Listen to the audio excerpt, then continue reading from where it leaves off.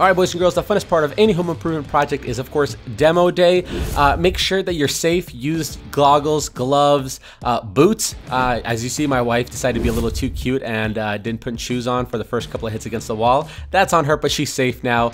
Uh, and then make sure you kill the power. Uh, you don't want to have power running through that room. You don't want to hit any of the cables and create a disaster there. So once that's done, it's helpful to pre-cut a lot of the sections you'll be breaking down. That way it doesn't demo way way too much stuff and creating more problems laying down the road. And then find the biggest hammer you got and then start whacking everything down and let your imagination roam free. See that blank canvas that you're creating. All right, so for the framing, now if I could advise you to focus on one specific section of this build more so than any other section, I would say it's the framing. It's your foundation. If you screw up this part, you're gonna have so many issues customizing every little piece after this and troubleshooting and fixing problems. So take your time, make sure your walls are nice, straight, they're upright. And the most important part is if you have transition pieces like I do here, where one side of the railing comes one way and then it pivots and turns. It creates a very difficult way to connect the two together when it comes to putting trim, when it comes to putting the metal railing on top. So figure and plan the stuff out. I kind of regret not putting a little step down section, maybe four inches deep or wide, and then continuing it again. It probably saved me so much hassle, but that's my advice to you. Learn from my mistake. The nice thing is we got everything figured out. Now for the drywall, drywall typically comes at your hardware stores in a quarter inch, 3 eighths, half inch, and a 5 eighths.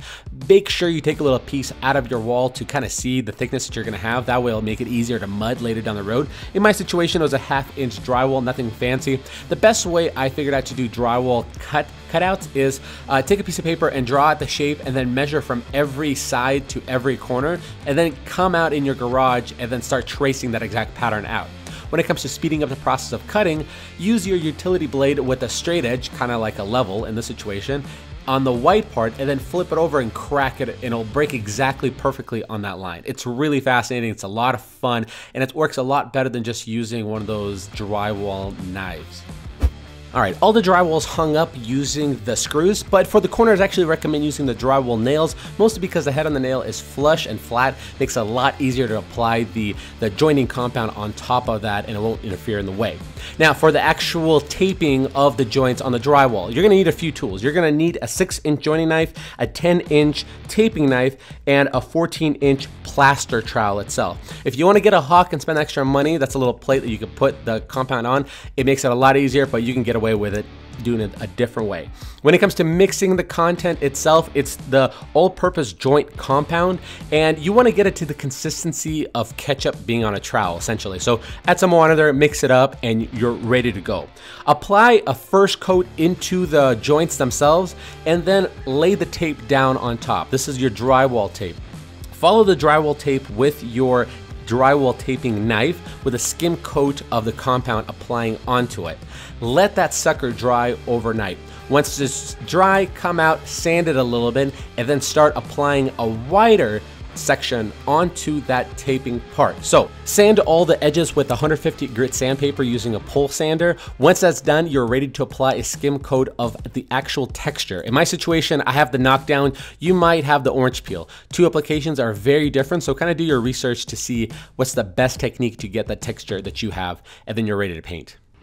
All right, here's a harsh reality for you. Your drywall is not straight, and no part of your house is gonna have a perfectly straight drywall line, and so you kind of have to anticipate your stairs being the same way. So every tread, in a sense, has to be almost like a perfect customizable cut. Now, to make this process a little bit easier, I've created a little multi-measuring tool, if you will, and basically all I did is I did two little rip cuts on the back of the two extra piece of laminate flooring that I had that had little locking grooves in it.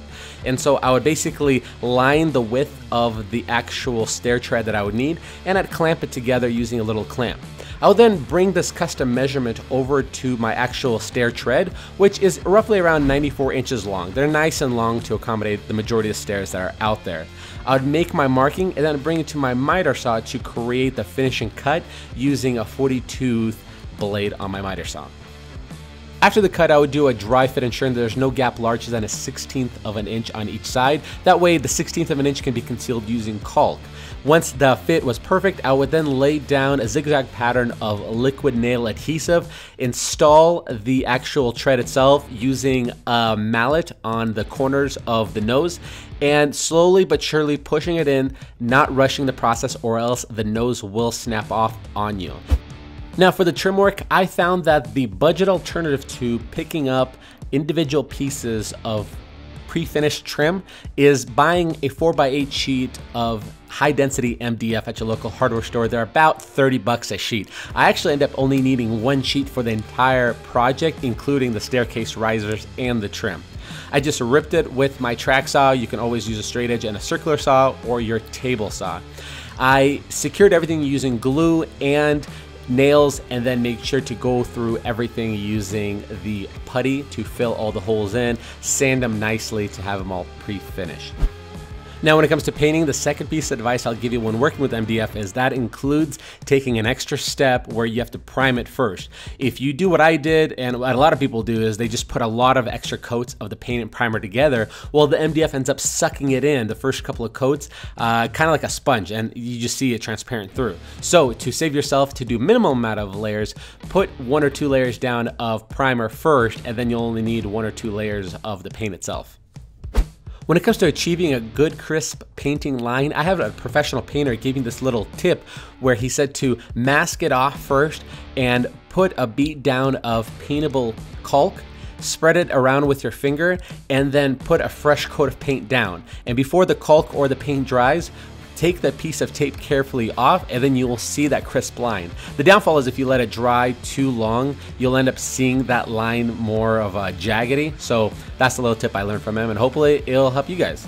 For the risers, I use a remainder of my MDF pieces and I've custom cut all the individual risers using that custom measuring tool that I've created for the stair treads and I created each individual piece custom tailored to each step.